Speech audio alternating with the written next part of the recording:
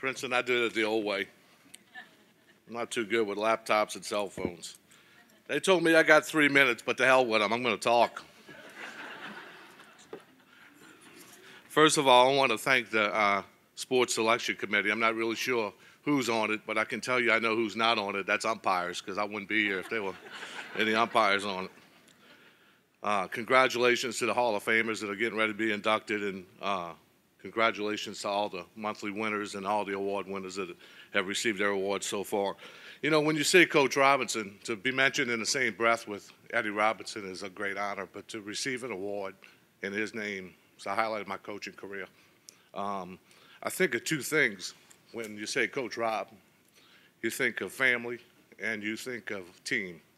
And I'm sure if Coach Rob was here, he'd say this isn't an individual award; it's a team award. Uh, we don't we don't do this by ourselves. Good coaches have great players. Bad coaches have bad players, and uh, I've been very blessed. I've been be- I've been very blessed to be on the first side of it. I've had some great players, and uh, they've made me very smart at times, and uh, I owe that and this award to a lot of people like themselves and the families that have been involved in my program. Um, I said you think two, th- two things, team and family. Uh, our Delgado family is a team.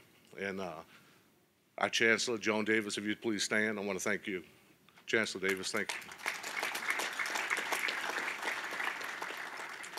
The other part of the team is my family. I've been married 31 years.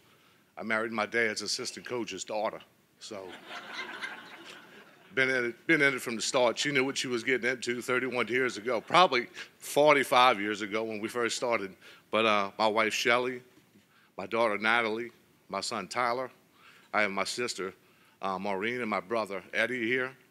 Mom saw the weather outside. She got rained out. She decided not to come. and, and, and taking care of my mom at home is Emma. So uh, I've been very blessed to, like I said, to have a great team, great family, and I accept this award on their behalf. Thank you.